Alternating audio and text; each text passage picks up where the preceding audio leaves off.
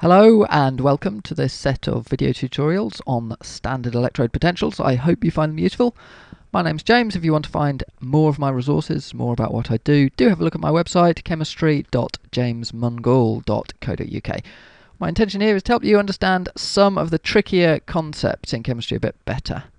So this one here I've subtitled Chemistry and Conventions because it's really important to be able to distinguish between the two.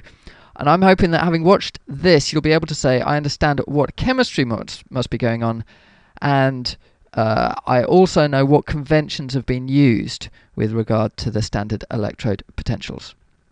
If you do get this, you'll be in a great position to really understand what's going on when doing calculations involving the electrochemical series. So I've divided this topic into four parts. Uh, this introduction, in which we're going to go over some assumed knowledge, i.e. what redox is, what half equation is, and a basic understanding of voltage.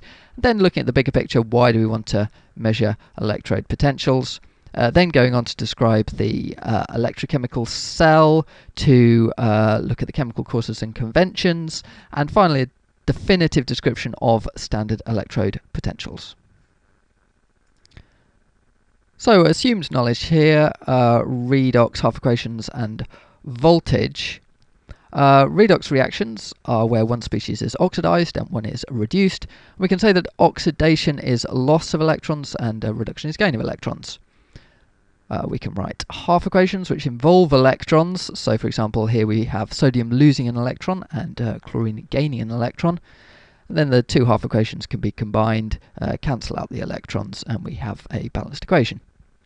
With regard to voltage, uh, you just simply should be aware that you can measure the voltage of the battery with a voltmeter, and as long as you get the terminals plugged in the right way around, then you'll get the correct voltage of that battery.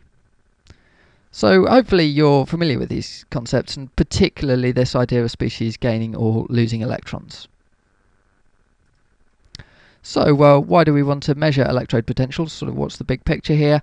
We want to build up a quantitative reactivity series of uh, redox behavior. At the one end, the species which really strongly tend to lose electrons and those which gain electrons strongly at the other end. We can then use that to predict reactions and make batteries and uh, really understand uh, redox chemistry much better.